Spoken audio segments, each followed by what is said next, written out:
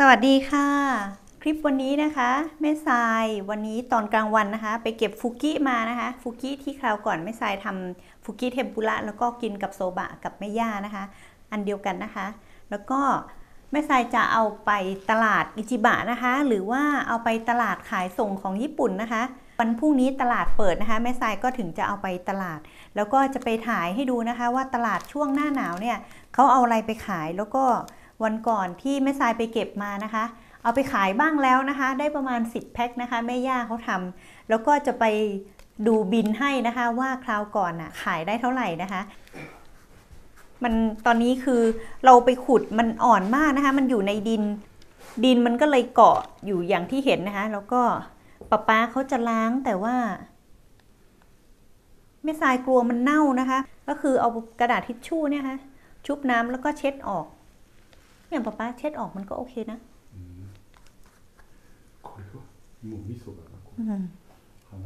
อันนี้คือแม่แม่ทรายเก็บแบบนี้มานะคะ ตุมตูมอันนี้คือวันนี้ที่ไปเก็บด้วยกันแม่ย่าเขาก็เก็บแบบนี้มานะคะ แต่ป๊าป้าบอกว่าแบบนี้คือเขาจะไปทำฟุกิมิโซะก็คือไปสับแล้วก็ผัดกับมิโซะแล้วก็ใส่น้ำตาลอย่างที่แม่ทรายบอกนะคะ แต่อันนี้ต้องขายด้วยเหรอ ขายจะมีคนซื้อเหรอป้าป้าแบบนี้紙るแบบนี้ไม่ไม่ทรายไม่เคยเห็นเขาขายนะคะ ก็น่าจะเก็บไว้กินมากกว่า อันนี้ไปซื้อมาจากร้านร้อยเยนนะคะ ลงทุนไปสองร้อยเยนนะคะ ค่าแพ็คจะได้กำไรเท่าไหร่ ส่วนอันนี้ก็มีอยู่แล้วนะคะ หนังยาง รัดของป้าป้าบอกว่า ถ้าแพ็คมันแพงนะ เดี๋ยวจะขาดทุน เป็นแม่ค้าที่ใจดีมากนะคะ แถมเยอะเลย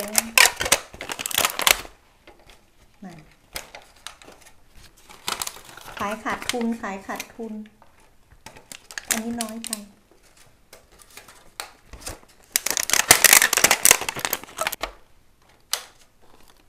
ได้ทั้งหมด 16 แพ็คนะคะ แพ็คละ 65 กรัมรวมกล่องนะคะ แล้วก็แม่ทรายจะไปถ่ายให้ดูนะคะว่า ฤดูนี้ที่ตลาดเขาอาอะไรไปขายบ้างนะคะ แล้วก็ฟุกิน่าจะเยอะนะคะเพราะช่วงนี้ฟุกิกำลังขึ้น เดี๋ยวไปที่ตลาดกันเลยนะคะ เดี๋ยวเราไปดูกันนะคะ ว่าฤดูนี้มีอะไรขายบ้าง อันนี้เป็นไดคอนแห้งนะคะ ไดคอนสไลด์แล้วก็ทำแห้ง เขาก็จะไปทำอาหารประเภทต้มนะคะ กินี่ถั่ว อันนี้ก็คือฟุกี้หมดเลยนะคะเห็ดหอมนะคะโหเห็ดหอมอย่างสวยเลยดอกเบลเลอร์เลยเนาะป้าป้าเห็ดหอมป้าป้านี่มันถั่วอะไรเหรอเขาไปทำอะไรกิน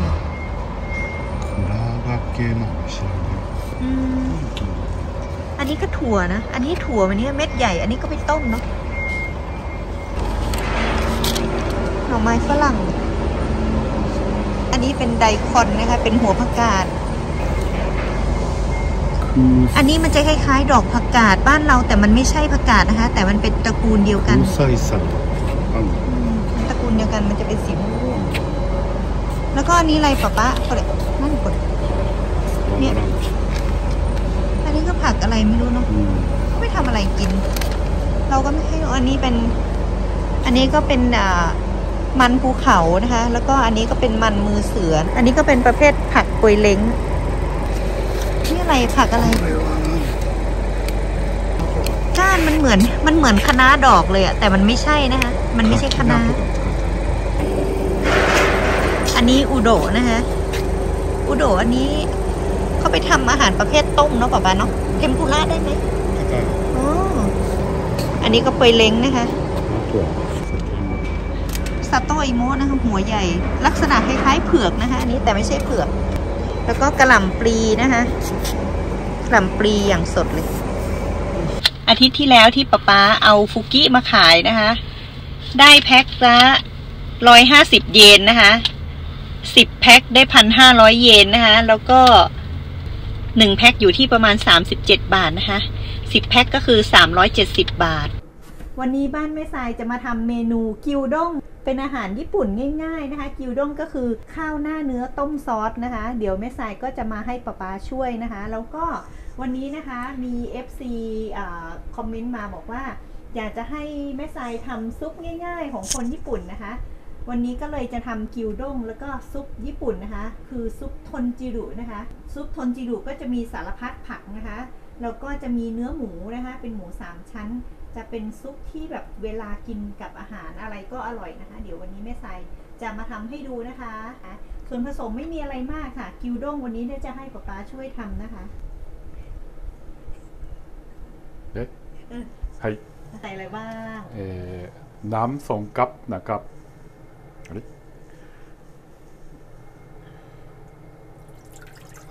โชยุสามจมใหญ่ครับ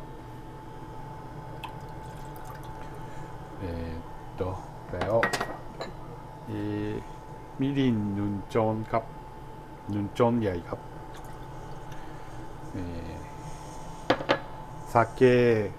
สามจมใหญ่ครับ เอ่อน้ำตาลสนจนใหญ่ครับเอ่อแล้วเอ่อพนดาชิ ฮอนดาชิฮ อนดาชิก็ใส่แล้วแต่ชอบนะคะ เพราะว่ามันเป็นผงปลาที่เพิ่มความอร่อยนะคะคล้ายๆอูมามิจากผงชูรสนะประมาณนั้นหนึ่งซองมี 8 กรัมนะคะ แม่ทรายก็จะใส่ไปประมาณ 3 กรัมนะคะ ยังไม่ดวดก็น้ำอ่าน้ำเฉลี่ยยังไม่ดวดก็เนื้อลงไปนะครับ ถ้าดวดก็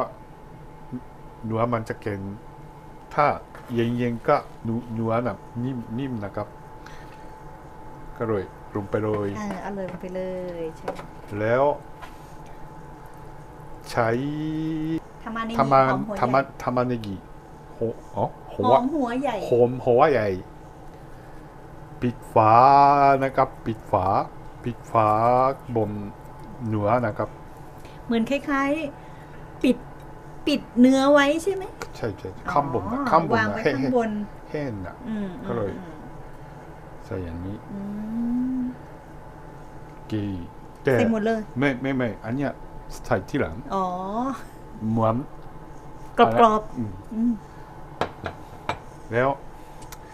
เออตัวอันเนี้ยขิงขิง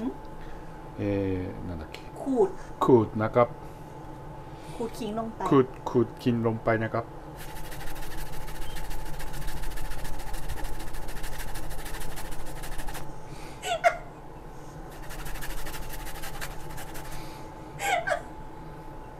โอเค ใส่เยอะๆก็อร่อยนะครับ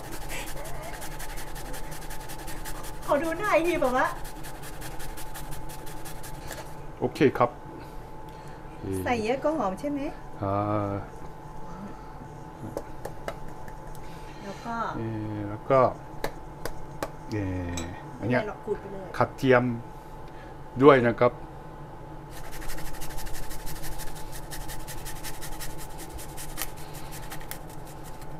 กี่ ระวังมือ โดนไหมไม่โดนครับ อ่าโอเคไม่ว่าโดนโอ เคเสร็จแล้วทำอะไรต่อคะเอ่อเสร็จแล้วโรดวดรอเดือดให้โรดวดครับโรดวดโรดวดโอเคพอดีให้มันนี่มามาล้างเองไม่เป็นไรคุณหึโอเครอเดือดแล้วทำอะไรต่อไป เอาฟองออกใช่ไหมอ๋อใช่ไม่อยากฝั่งนี้เรามาทำผลโรน้ำ น้ำเรือนิดนึงนะครับรอให้น้ำมันงวดอ่าป๊าป๊าพูดใหม่ฮะรอให้น้ำมันงวดสักพักมมั่วเอ๊ะงวดงัวงัวงัวงวดโลน้ำอะอะไรนะโลน้ำเอ๊ะรอให้น้ำมันงวดโลให้น้ำมันนวดครับ นวดจะได้นวด งัวงัวป๊าป๊าฮะป๊าป๊าลองพูดคำว่างองูสิงวงวด งวด เออ ใช่ใช่โลน้ำอะฮะรอน้ำมันงวดโโรน้ำมันงวด งวดงวดงวดงวด ยากเนาะยากเลยมาเหี้ยโอเค โอเคโอเคแล้ว เอมีเวลาก็ทำต้นจิรุด้วยครับ ระหว่างที่รอเนื้อกิวด้งเราสุกนะคะ แม่ทรายก็จะมาทำซุปทนจิรุเลยนะคะ ทนจิรุที่ขาดไม่ได้ก็คือโกโบนะคะรากโกโบนะคะมันก็จะมีขนที่อย่างนี้นะคะ เราไม่ต้องปอกก็ได้นะคะ ไม่ต้องปอกให้ใช้สันมีดนะคะ ขูดนะคะ แบบนี้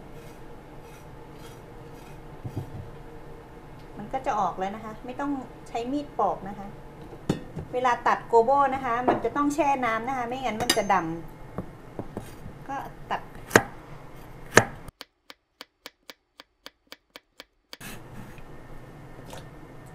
ความบางก็ประมาณ 1มิล2มิลนะคะ เพราะว่าโกโบมันจะมีความแข็งนะคะ เพราะฉะนั้นถ้าหนามากเดี๋ยวมันก็จะไม่ค่อยอร่อยนะคะ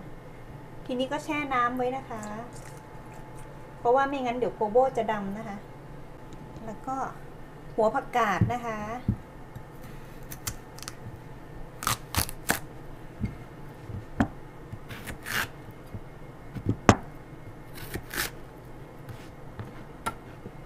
หัวผักกาดก็หั่นเหมือนเวลาเราหั่นทำแกงส้มนะคะ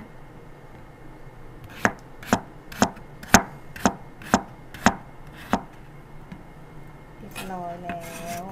แล้วก็พักไว้ก่อนนะคะ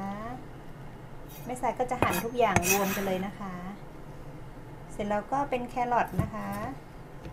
ของทุกอย่างนะคะ แล้วแต่ความชอบนะคะ ใครไม่อยากใส่ไม่ชอบก็ไม่ต้องใส่นะคะ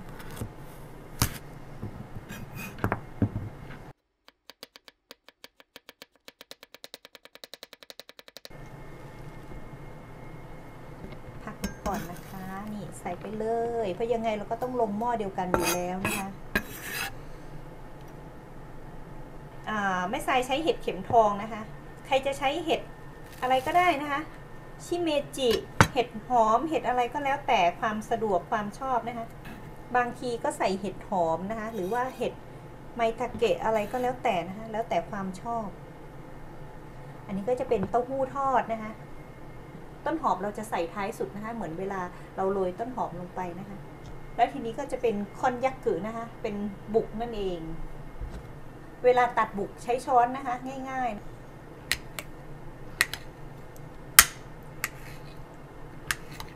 บางคนชอบเล็กก็หั่นเล็กๆ ใส่ก็ได้นะคะ ใส่น้ำมันงาลงไปนิดหน่อยนะคะ เราก็จะมาผัดโกโบนะคะ ผัดกับน้ำมันงานะคะ อันนี้เราก็ปล่อยให้มันหอมก่อนนะคะ ผัดให้มันหอมกลิ่นโกโบขึ้นมาก่อนนะคะ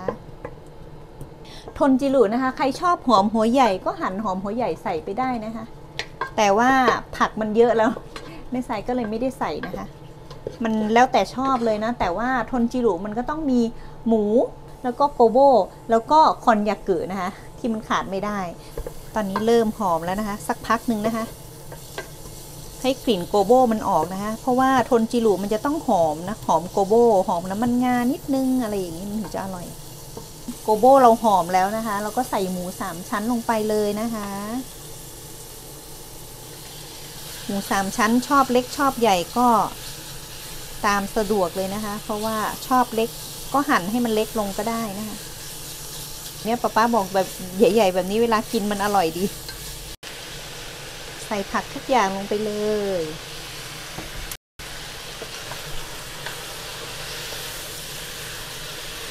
ขั้นตอนนี้ไม่ต้องผัดให้มันสลบหรืออะไรทั้งนั้นนะคะ เติมน้ำลงไปได้เลยนะคะ แล้วก็ใส่เต้าหู้ลงไปนะคะ คนยากืออย่าเพิ่งใส่นะคะ เดี๋ยวให้ทุกอย่างมันนิ่มลงสักหน่อยนะคะ เพราะว่าไม่อย่างนั้นเดี๋ยวทุกอย่างมันก็จะไม่นิ่มนะคะ หอมหัวใหญ่ที่เหลือนะคะ ใส่ไปตอนใกล้จะเสร็จ แต่ถ้าใครไม่ชอบหอมหัวใหญ่กรอบๆนะคะ ก็ใส่ไปด้วยกันตั้งแต่ทีแรกเลยนะคะ อันนี้คือป้าป้าเขาก็อยากจะให้มันกรอบๆนะคะ แต่จริงๆถ้าต้มไปหมดเลยมันก็จะนิ่มนะคะ แบบนี้ก็จะอร่อยไปอีกแบบหนึง่งแล้วแต่ความชอบนะคะ ทีนี้ซุปของเราก็สุกหมดทุกอย่างแล้วนะคะ ใส่คอนยากุลงไปค่ะ ก็จะใส่ต้นหอมลงไปเลยค่ะ อันนี้จะไปโรยบนถ้วยเวลาทานก็ได้นะคะ แต่ว่ามันก็จะมีความเผ็ดนิดนึงแม่สายก็จะใส่ไปเลยนะคะ สุดท้ายเลยที่เราจะต้องใส่ก็คือมิโซะนะคะ ความเค็มนะคะ แล้วแต่ชอบนะคะ อันนี้แม่สายก็ใส่ประมาณหนึ่งหนึ่งทัพพีเล็กนะคะ ใส่มิโซะลงไปแล้วก็คือปิดไฟเลยนะคะกิวด้งก็เรียบร้อยแล้วนะคะ เวลาเราต้มไปน้ำซอสมันก็จะเหลือประมาณนี้นะคะ แล้วก็อันนี้ก็ทนจีรุทนจีรุก็เสร็จเรียบร้อยนะคะ ขั้นตอนนี้ใครจะใส่เบนิโชกะ หรือว่าขิงดองสีแดงๆก็ได้นะคะ แต่ว่าที่บ้านไม่มี แล้วก็แม่สายก็ไม่ชอบกินด้วยนะอิตาดากิมาจะกินแล้วนะ ซุปแบบนี่ดูหมูซะก่อน หมูของเราไฮโซมากนะเนี่ยหมูชิ้นใหญ่ อืม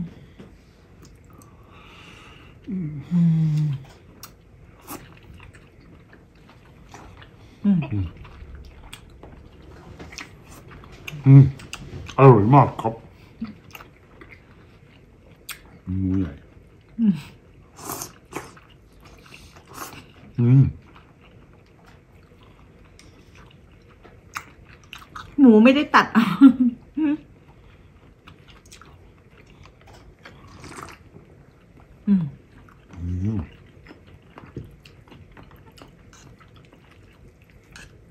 วันนี้ป๊าป๊าบอกขอข้าวน้อยๆ จะค่อยๆกิน อืมกิวด้งอร่อยมาก อืมคืออะไรป๊าป๊าแปลว่าอะไรฝีฝีมือฝีมือ เล่นมุกก็ไม่บอก อืม อืมอืม อร่อย อืมอืม โอชิช なので生姜生姜 อืม 生姜のリリーやうん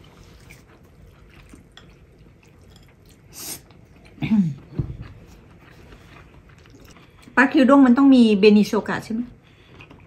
กิงสีแดงแดงกิมจิก็ได้ อืมอร่อยอร่อยฝีมือป้าอร่อยเนี่ยลำเชื่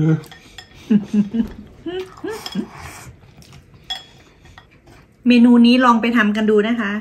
อร่อยถูกใจแน่นอน